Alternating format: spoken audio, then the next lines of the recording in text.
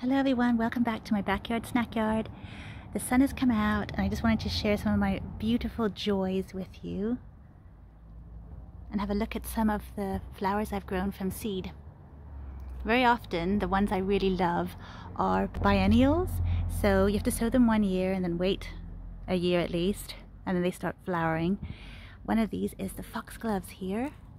I sowed them all last year and overwintered them in little pots and then they're blooming now beautifully. So stunning. They like shaded spots. They're woodland plants. They're actually woodland wildflowers. And so in our local woods we do see them very frequently.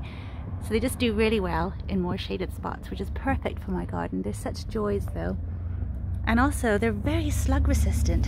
So whereas other plants that I try to grow from seed such as lupins down here one of my rare lupins is actually growing. It hasn't flowered yet I also sowed it from seed last year, but they get really eaten and munched by all kinds of slugs and snails, whereas the foxgloves are usually untouched. And they're so delightful. I've got a few sunflowers here which are growing slowly but surely some flowers down there. I also have some other herbs I've grown from seed. This is some dill. I think they have beautiful flowers and I love just adding herbs everywhere. I've got a few poppies coming up. This one was kind of heavy on the top so it's got a little stake there. if we go a bit further down, here we got some daisies. They're just about to burst into bloom. These ones are really, really frizzy. They're amazing. I had seen them as flowers just growing along the side of the road. And one day there was one that was dead. And so I deadheaded one of them. I picked one of the flowers off and, um, and planted it. The seeds were still green, so I wasn't quite sure if they were going to be viable, but we got some flowers from it. Some little plants shot up eventually, and I overwintered them, and eventually I planted it here. This is a few years ago now, and so the one of the ones that turned out to be frizzy, like its parent, is here. And it's just spread. Because usually I think these kind, they do best if you divide them from um, from roots, the root ball, you just divide them that way.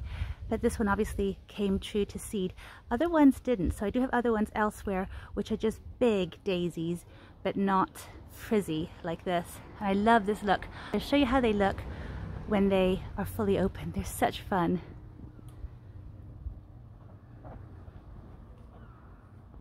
Another plant we have right in this area here is those really tall yellow spikes they are verbascum.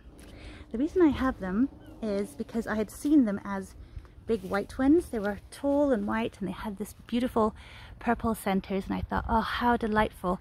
So I found some seeds online, bought them, planted them. Well, I sowed the seeds and then the little plants came up and again, they are biennial. It's really what I go for every time apparently.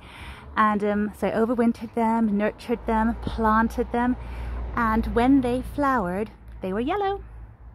So not what I ordered, not what I wanted, but I really do love them. I think they're so delightful, so sunny.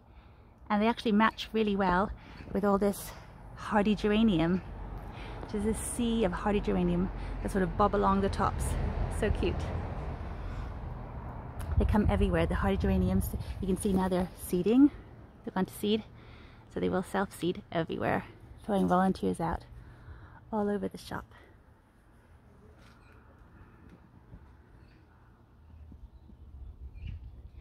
But I just thought it'd be really, really fun to show you that. Just a few of the plants I'm really enjoying growing from seed.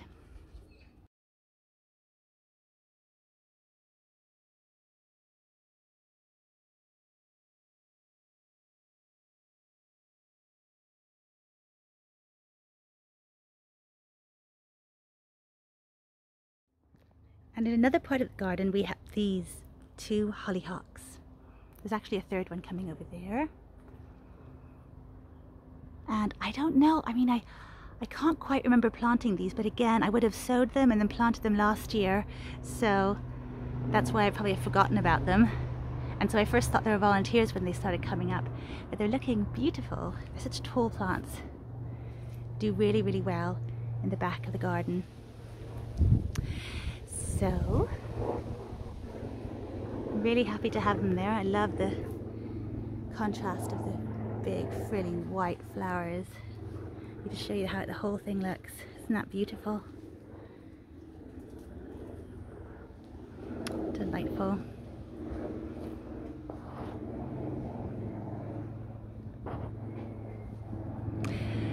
So, just a few of the ones I really enjoy growing from seed. Let me know what you prefer to grow from seed, what you think is best to grow from seed, what you enjoy, and I'll see you next time. Thanks for watching. Bye for now. I just wanted to add a quick little update as all the daisies are starting to burst into bloom in the beautiful summer sunshine. This particular cultivar is actually known as Crazy Daisy for obvious reasons, I guess. I so love them.